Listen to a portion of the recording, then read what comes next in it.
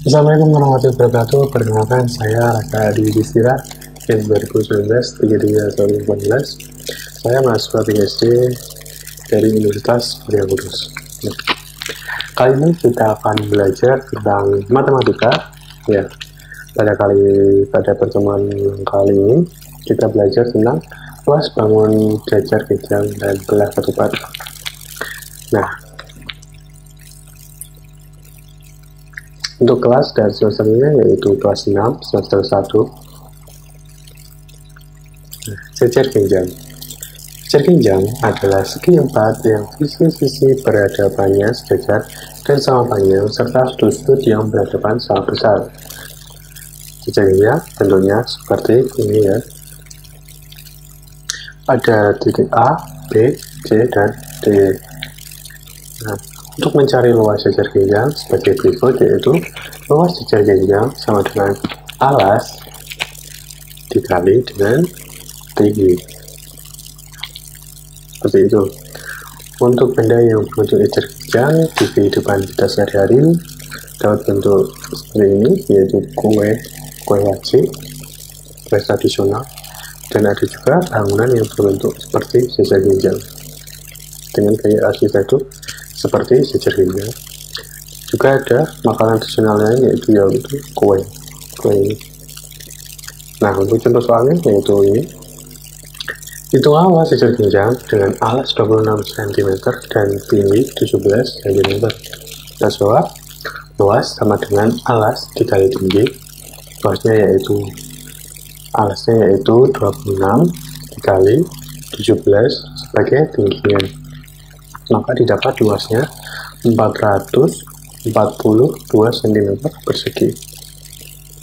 Nah, untuk contoh soalnya atau soal yang bisa kalian coba, dapat kalian memberhentikan video ini atau mempause video ini, lalu kalian coba kerjakan di buku kalian masing-masing. Nah, materi selanjutnya yaitu belah ketupat. Belah ketupat adalah cecer genjang yang sisinya sama panjang. Cara belah ketupat juga mempunyai kupas. Coba kita perhatikan gambar di samping ini. Ada titik A, B, C, D, dan D1 juga D2. AC disebut diagonal 1, diagonal 1, A, C.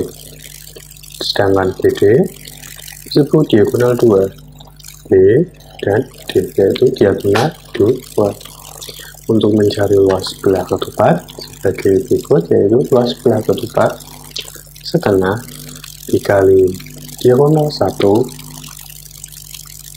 dikali dengan diagonal 2 nah untuk contoh bendanya yang berbentuk belah ketupat dalam kehidupan sehari-hari yaitu seperti ini.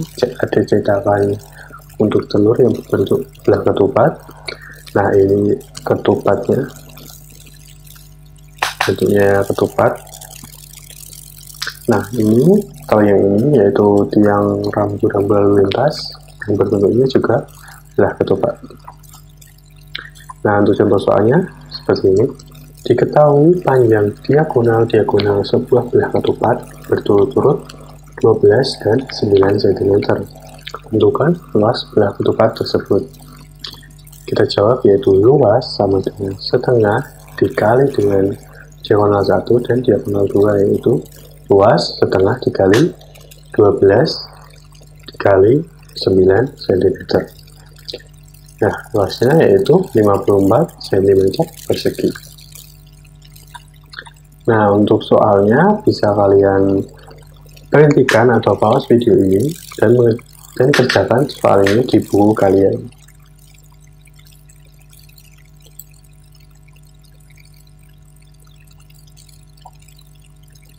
Nah, cukup sekian materi kita pada kali ini tentang luas bangun jajar genjang dan belah ketupat.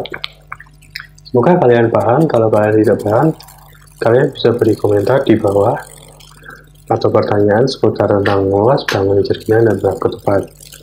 Kalau bisa, nanti akan saya bahas atau saya jawab satu persatu. Terima kasih dan mohon maaf apabila ada yang salah. Assalamualaikum warahmatullahi wabarakatuh.